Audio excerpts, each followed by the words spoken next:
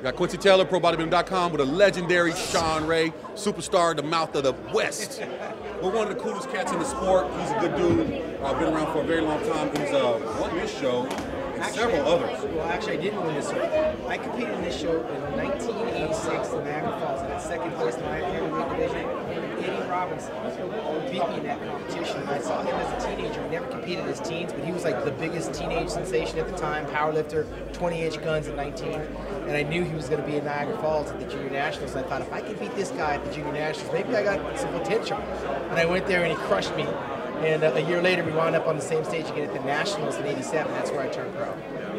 What are, you, what are you doing right now, and what can people reach you if you're doing any? What are you doing especially for training or anything like that, where people can reach you? Well, I'm here with musculardevelopment.com. We cover all the bodybuilding shows, uh, all the major bodybuilding shows. We just were at the Junior USA's South Carolina, the Trey Bennett show. And of course, we support anything that Pam Betts is involved in. We're covering it gavel to gavel, play by play. So if you go to musculardevelopment.com, you'll see me on the uh, men's play by play, giving my little two cents on how the bodybuilders look and how they stack up. And then we'll have the finals where we do live interviews with the winners and the champions. And of course, we'll wind up at the uh, USA's next month where you won your pro card, covering that show for Jon Lindsay. And uh, it's really good working with muscular development because we can highlight some un, you know untapped talent and we can watch them grow and, and get into that professional uh, level. And it feels like we're part of their careers, like Evan Centopani when he won the Nationals. We just watched him win the New York Pro. So we're having a good time at musculardevelopment.com.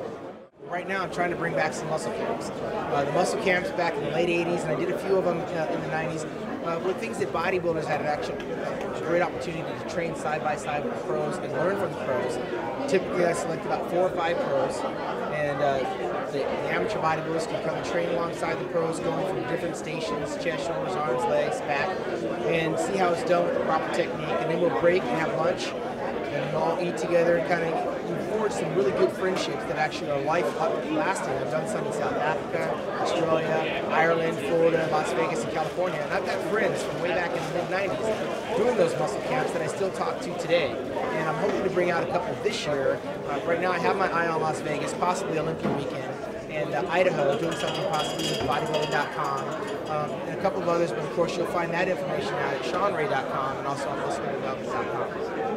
There you go, ShawnRay.com. Check it out, look at it, learn it, love it. Pro is a state of mind.